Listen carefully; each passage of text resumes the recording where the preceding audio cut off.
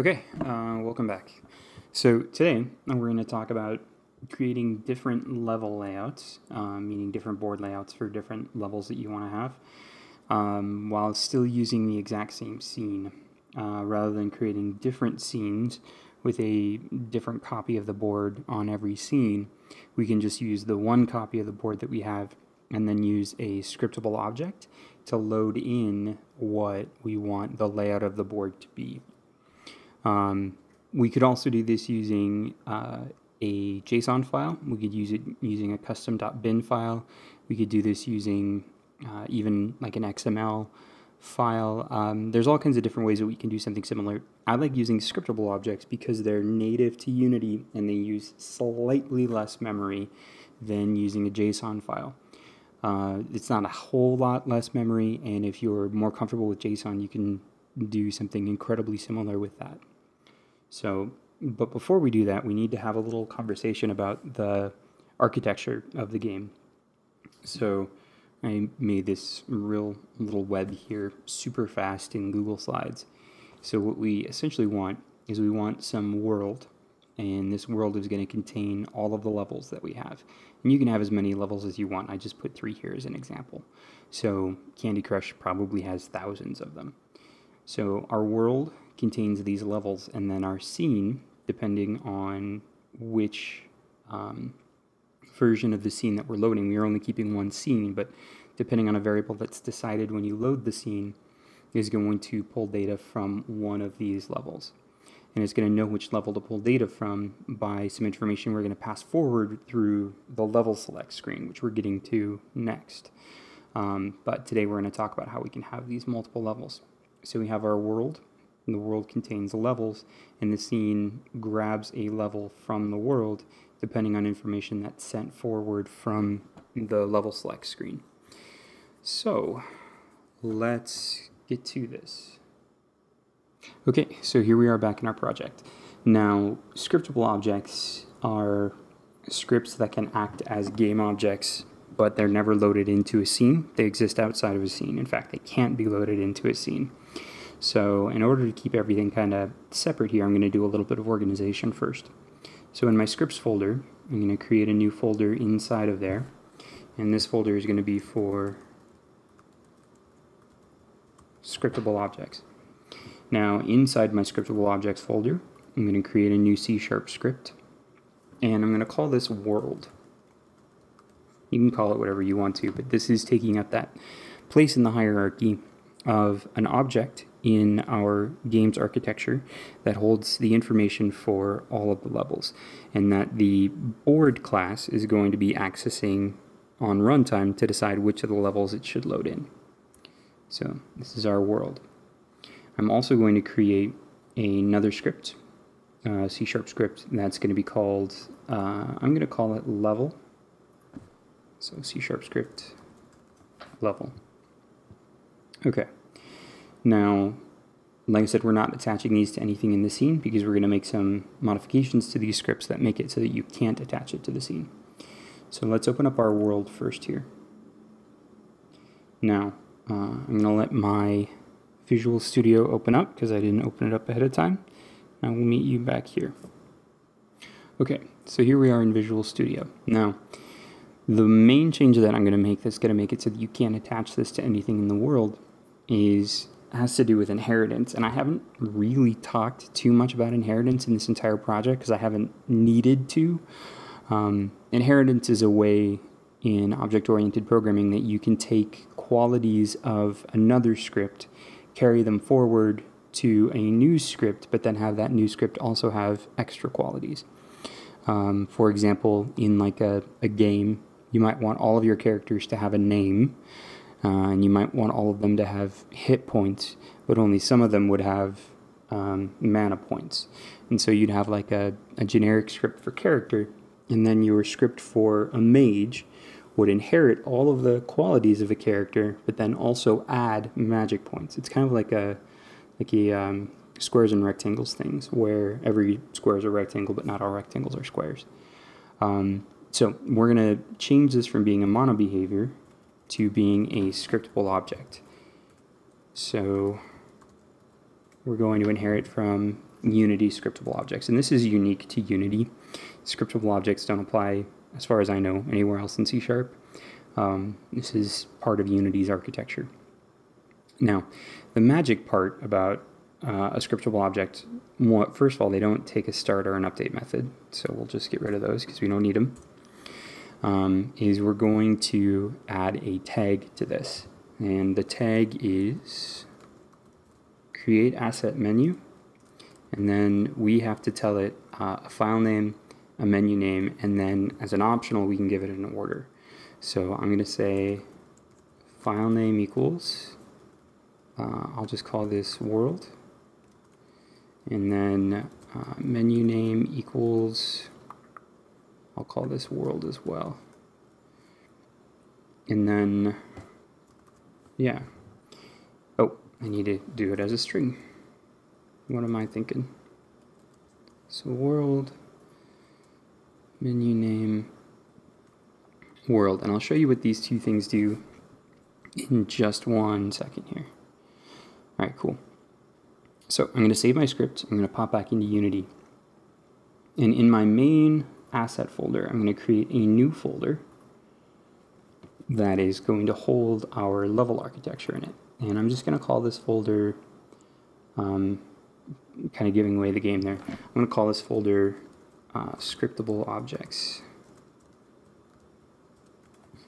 Now, by creating this asset menu here, we're now able to create a new version of the scriptable object inside of our uh, asset folder, but we can't attach it to anything in the scene. So, and it, it's kind of neat the way it does it because it kind of bakes it right in. If you right click now and go to create, you'll see that we have world. This is the, um, the menu name. And I'm just going to keep it world. Now we don't have any information in here yet, but I can add information. So my world is going to contain an array of levels. So I'm going to make this public and level array, and I'm going to call it levels. I'm going to save that. If I pop back into Unity here, uh, I'll see that my world, as soon as it's done compiling, will have a place for me to add my levels to.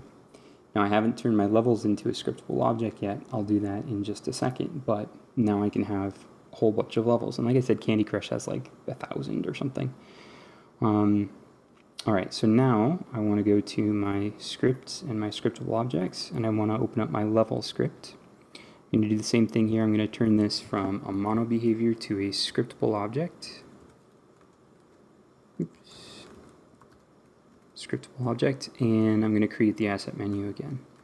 So create asset menu, file name equals world, menu name equals level. And again, scriptable objects can't access start or update. They do access on enable and on disable, but we're not going to be using those. Um, okay, cool. So I'm going to save this.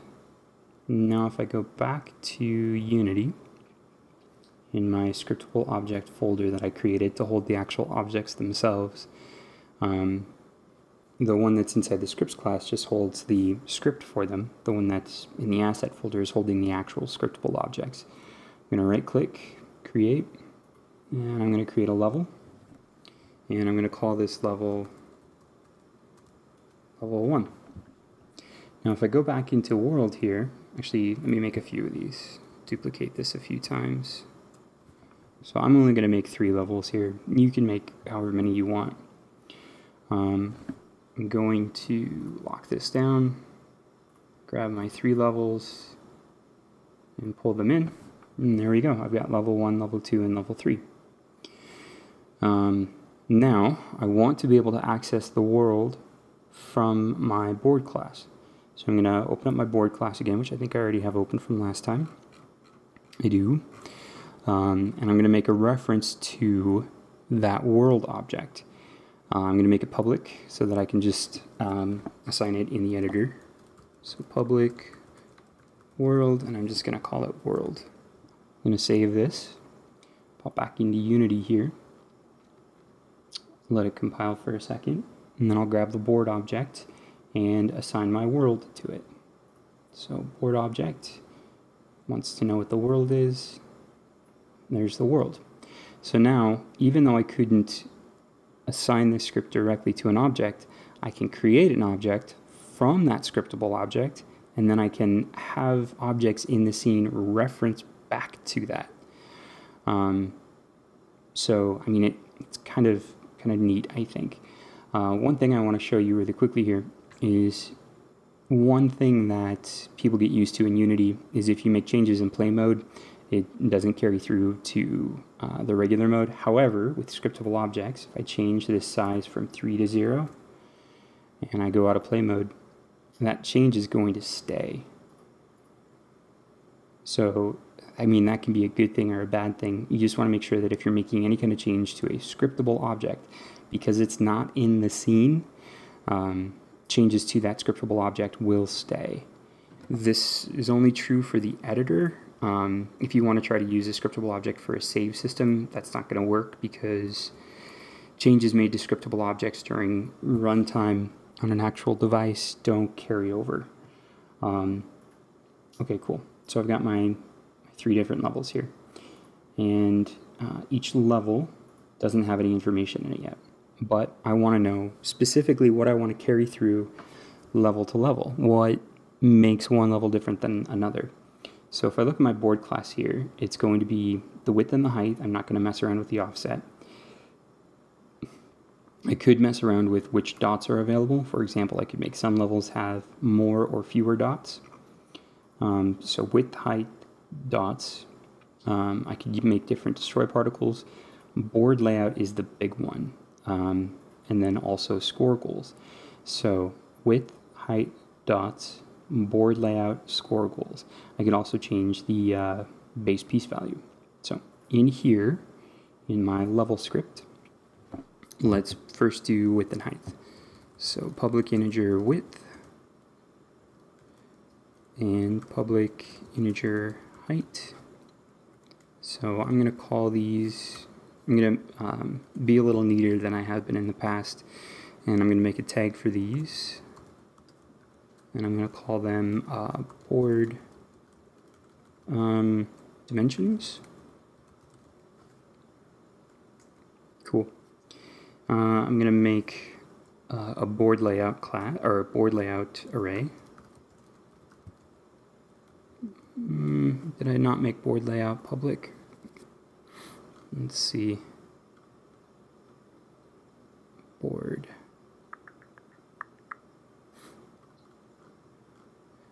Where did I? Oh, I called it tile type, that's why. Um, okay, so back in level, public tile type, and I'll call this board layout, and I'll add a header to this as well.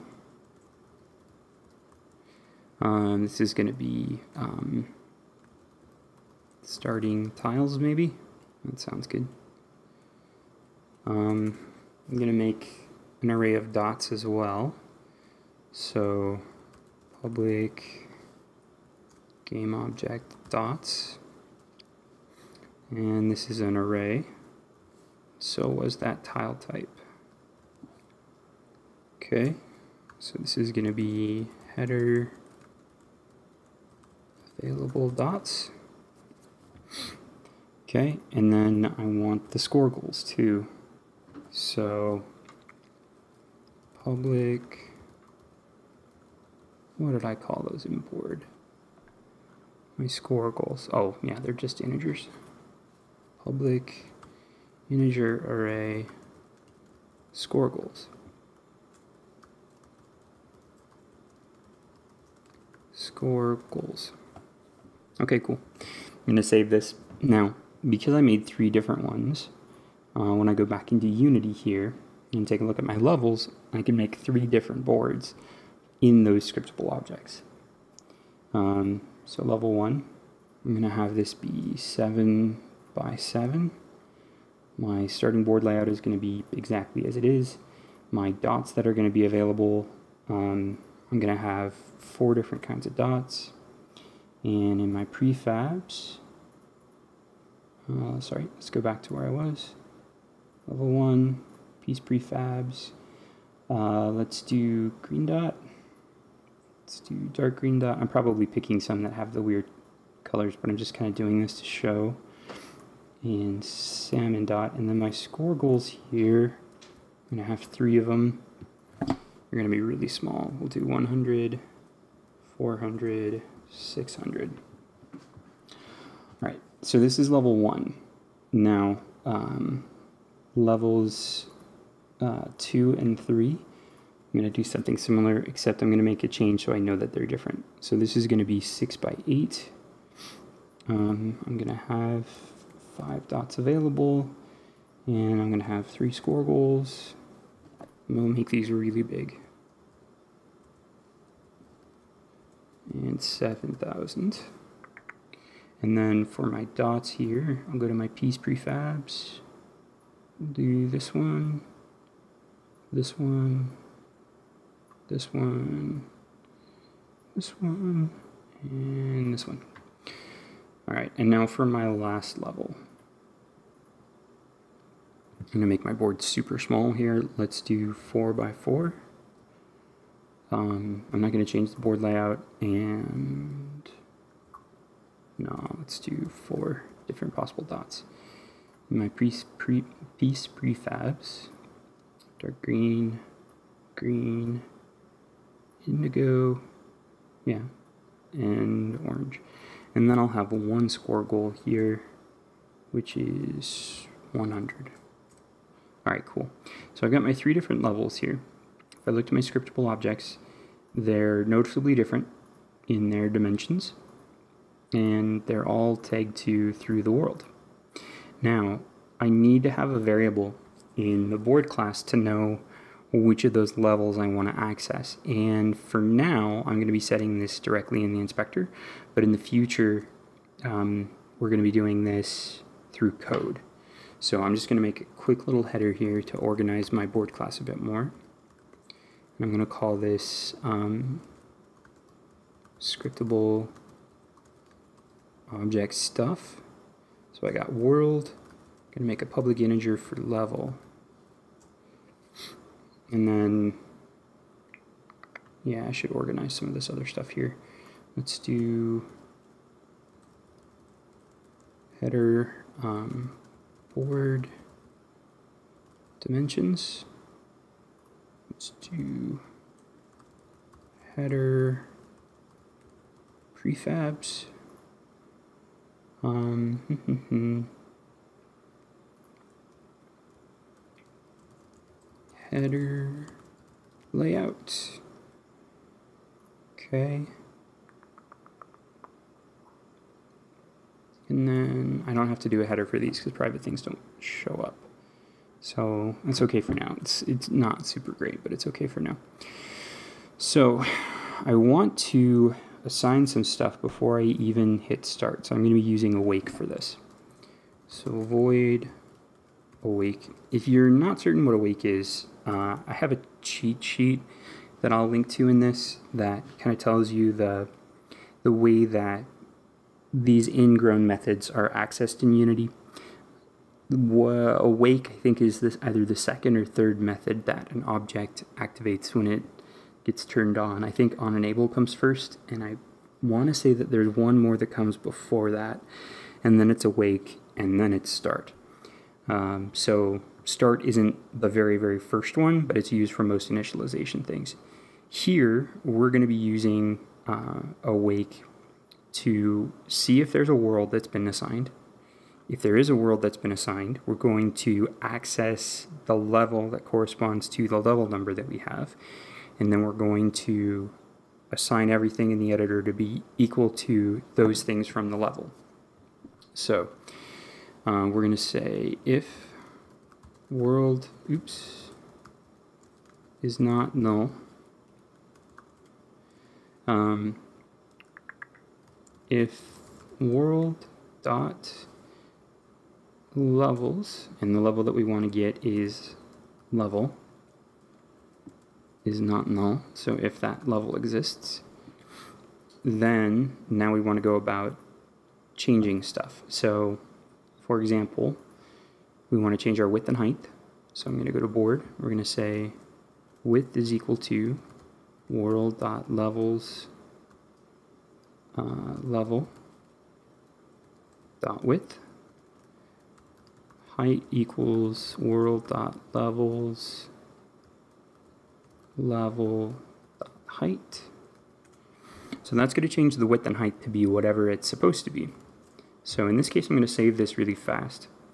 And I should see a change really really fast. So for example here um, my level 2 I think is the one that was 7 by 7 no 6 by 8 let's go with level 1 level 1 is 7 by 7 by default right now my board is 6 by 8 so I'm going to say that it should be um, level 2 which is really 1 Wait, is level 2 the 7 by 7 no jeez um, should be level 1 which is position 0 in the array so I'm going to say the level is 0 now when I hit play I should see these numbers change from 6, 8 to 7, 7.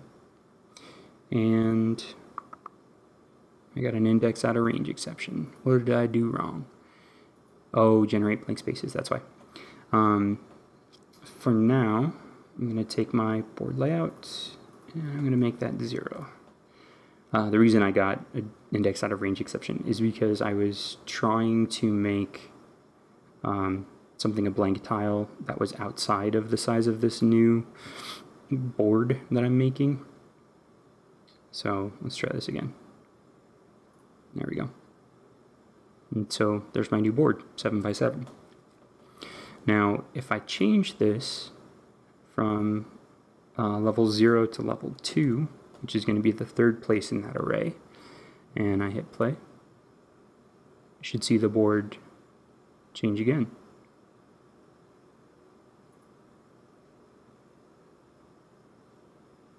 And there we go.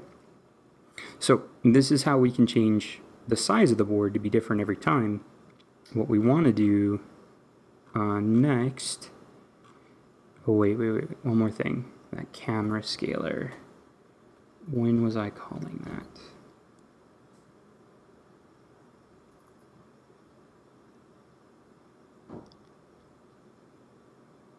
Okay, no, no, that's fine, that's fine. Okay, one second.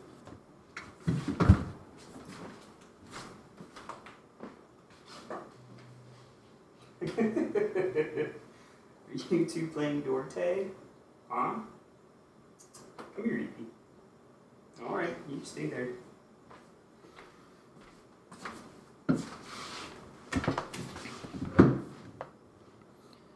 Okay, sorry about that weird um, cut. Okay, so back in our board here, we're just setting the width and height though. So let's change more. Let's change our uh, starting tiles, our dots, and our score goals. So back in board, we're going to say our dots are equal to world dot levels level dot dots and score goals world dot levels level oops dot score goals. And what's the other thing? Oh, the board layout. Board layout is equal to world dot levels level dot board layout. Okay, so we're changing all of these now. Now we should be able to to see the um, the actual boards themselves change. So I'm going to let that compile for a second. I'm going to hit play. And our pieces are going to fall in. Okay. All right, cool. And yeah, I totally used one I shouldn't have used. But there we go. So now we're using different pieces on this level than we would have on another one. Now, there's more things we want to do here though. Um, for one, we're not changing the endgame conditions, so we're going to have to have the endgame condition access the levels as well. And for two, um, we are not changing the level requirements. So let's go into Visual Studio here, into our levels class, and we want to change our endgame requirements. So from the endgame manager, we're going to grab the um, endgame requirements. So let's do header endgame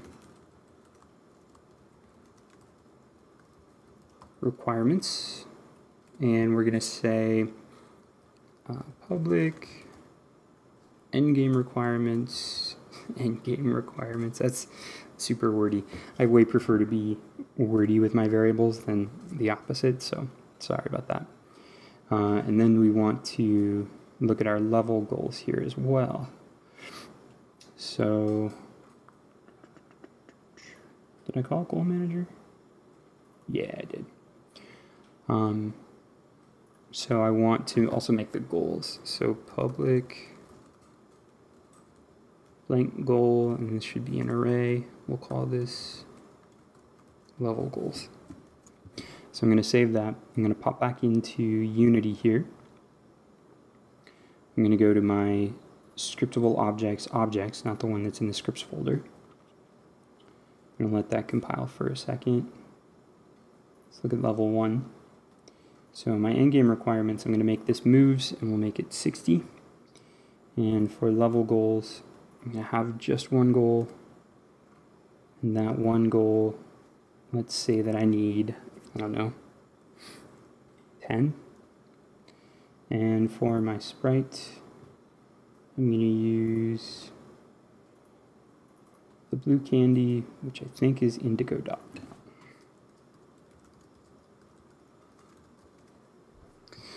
uh, on level two. Okay, so let's make sure I have these different. So that's move 60. I'm going to make this one a timer. And we'll make it 100 seconds and no goals. Well, no, no, let's make goals. Because everything's kind of hinging on the goals. So we'll make two goals here. Uh, number needed two. Sprite. Use the blue candy. And I feel like I'm going really fast with this. So if I'm going too fast, please let me know. See, we need five of those. And we'll do,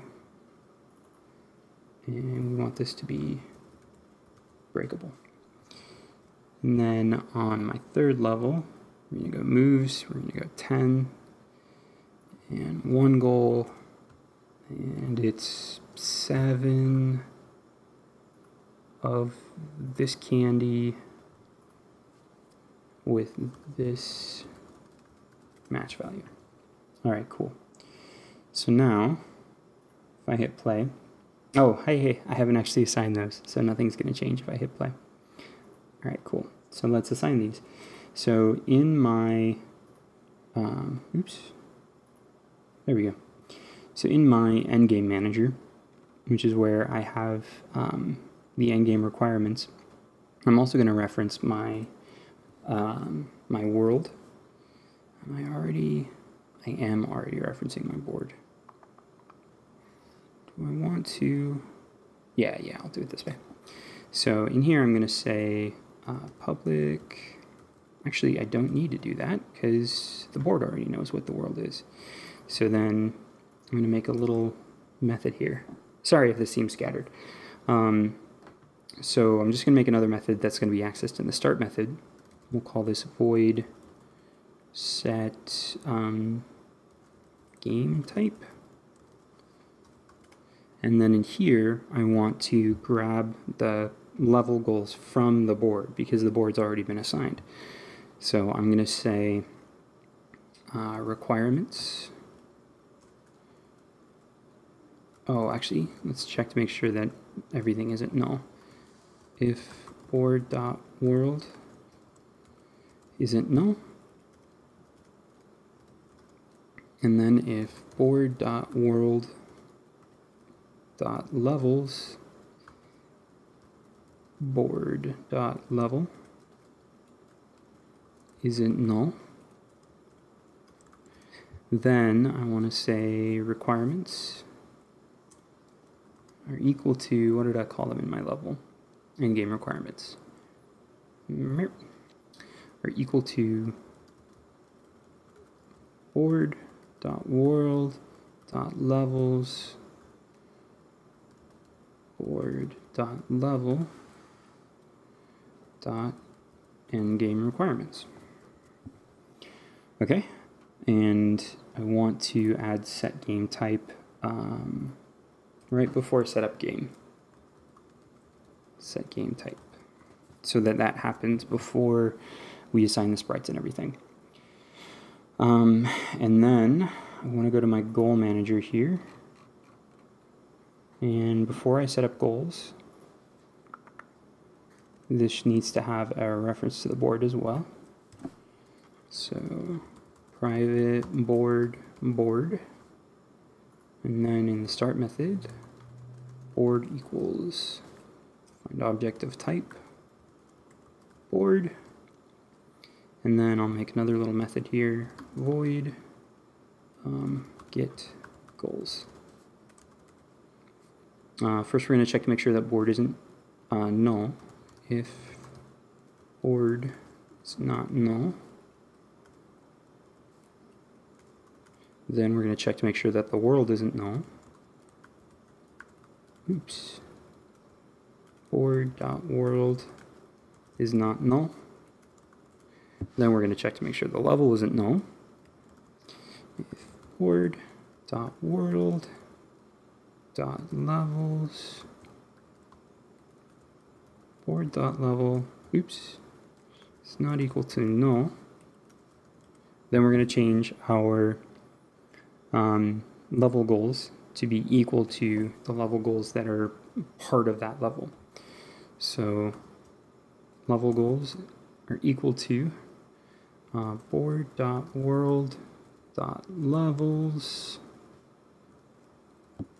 world dot level dot level goals. Right, cool. So yeah, that should be enough. Um, let's test this out. It's been a while since I tested this. I, I did this on my own game um, months ago, and this is the same way I did it there but I haven't redone it since then. So, okay. Let's put ourselves at level zero. And then let's see if this works. Okay, so that's not what it should be. And neither is that. But this is fine.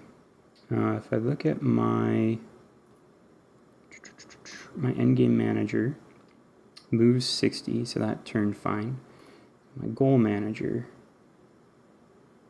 Did I not call it from the goal manager? Am I that dumb? yeah, I am that dumb. Okay. So, get goals. There we go. Save that. Pop back into Unity here. I'll hit play. And the goal should change, which should change on screen. Um, okay, cool. So, all right, we need to, to work on how that's resizing itself a little bit there. Um, let's look at this really fast. Do, do, do, goal prefab,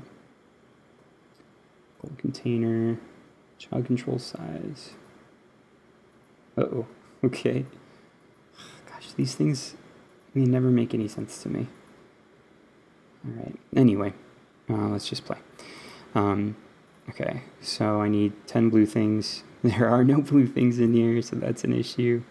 And there's another issue that some people have noticed. Um, I should have gotten a, an adjacent bomb there, but I didn't. Um, we're going to fix that relatively soon. Uh, okay, cool. So, all right, cool. Let's change the level here. Man, that really bugs me that uh, squishing out. We'll have to fix that soon. I want to go to my board. I'm going to change to level 1. And level 1 here.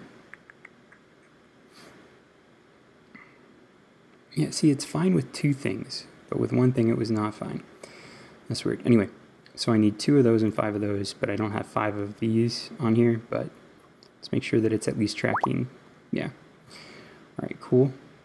And time's counting down. All right, and let's try the last one. Let's try level two. And if I hit play.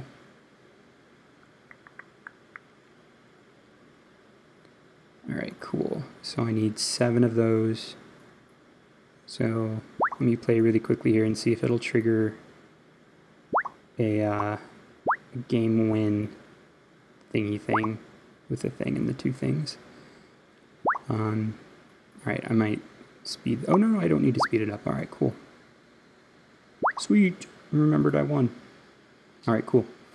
So, um, one thing that I think is really cool about this is since we have all of these default values in here, if I, for whatever reason, level gets put to like negative one, or if it got put to something that's outside of how many levels are here, what you have in your board here can act as a default level structure.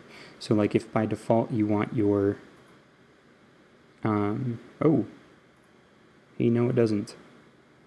Um, Hmm.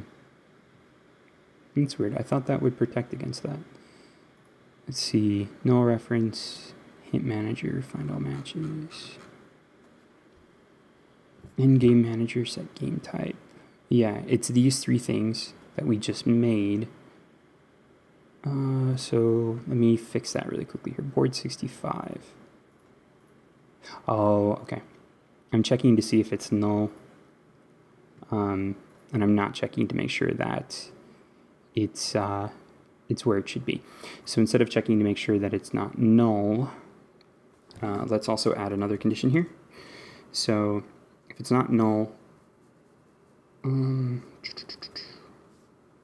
yeah, I'm just going to add this as an if here. Um, if level is less than world dot levels dot length. So, but that's not going to protect against the negative one. It'll protect against one that's bigger. Um, so what I'm doing here is adding another check just to make sure that the level is um, inside the, the range uh, between 0 and however long this is. So let's do absolute value maybe. Mathf dot no no no no no no no no no no. Come on now. Why would you think I wanted that okay so if the absolute value of the level is less than no that doesn't actually protect me either and I misspelled Mathf anyway let's just leave it like this and let's say that that negative condition is never going to happen. So I'm going to copy this. We're going to go to the endgame manager. I have set game type.